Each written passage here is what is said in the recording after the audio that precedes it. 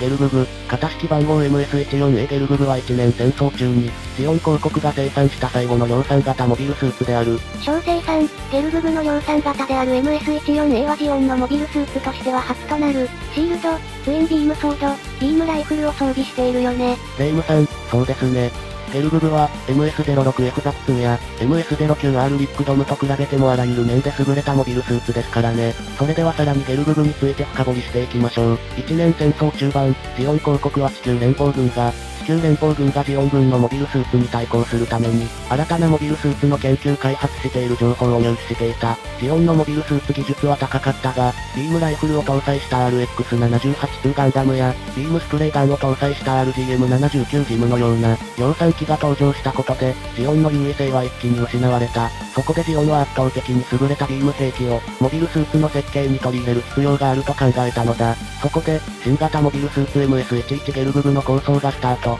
モビルスーツにてビーム兵器を使用できるように設計し直したのである。今季はティマット社の MS09R リックドムに敗れ、ジオンの主力宇宙戦闘モビルスーツとなった MS06R2 ザ通行機動型の開発データを活用している。初代 MS11 ゲルググの計画では、マシンガンなどの弾道兵器しか使用できず、ビーム兵器を扱うには出力が不足していた。かし、この問題は、設計変更により解決された。MS11 の故障を外し、ベズンプロジェクトの MS11 アクトザクに移行し、新しいモビルスーツの故障を MS14 に変更したが、名称はそのままであった。初期生産のゲルググは YMS14 ゲルググと呼ばれている。ゲルググは主にグラナダとアバオア空で生産され、トータル738機が生産されたと言われる。ゲルググは地球連邦軍の RX78-2 ガンダムに匹敵する、もしくはそれを若干上回る、一年戦争最強のの量産型モビルスーツであったが、終戦までにラインオフした膨大な数の、RGM79 ジムに対抗できるほどの数は生産されなかった。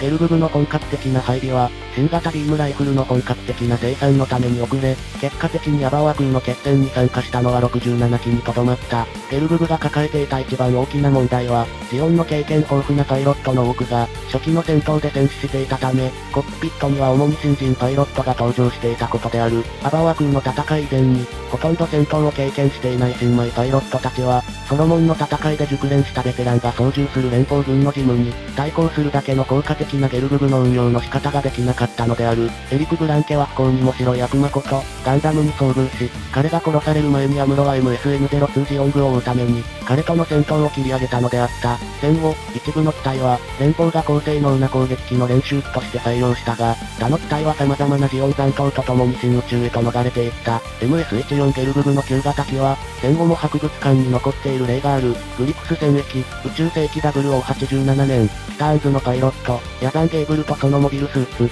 ORX005 ジェプラントの戦闘中に、アーガマのクルーが、廃墟となったグアジンに搭載されていたゲルググを発見した。ゲルググには勝小林が乗り込み、ビームライフルを一発撃つのに十分なだけの制御装置をすぐに起動させた。ゲルググのビームなぎなたは、後にヤザンのジェプランが、MSZ006 ゼータガンダムに対抗するために使用したが、ゼータガンダムのビームサーベルには劣っていた。ゲルググは、MSA003 ネモの内部パーツを用いてサルベージ回収されたが、外観は通常のゲルググと変わらない。ゲルググは戦闘には不向きであったが、エウゴのパイロットである、デコアが偵察機として使用したり、メガバズーカランチャーの動力源として使用した、武装、ツインビームソード、MS14A ゲルググの主な近接武器であるツインビームソード、通称ビームナギナタ、エワビームサーベル2本分の長さがあり、両端にビームエミッターを備え、アイフィールドを介してプラズマを封じ込めて成形することで、2本のビームブレードを発生させることができる。この武器は、アンチビームコーティングが施されていない、ほとんどの装甲を切り裂くことができる。